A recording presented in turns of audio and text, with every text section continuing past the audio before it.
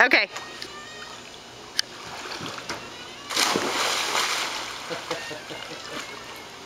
now you're supposed to try to get away from him? Yeah. When I Good had job. you? when I played her, she had to stop. Oh yeah. Ready?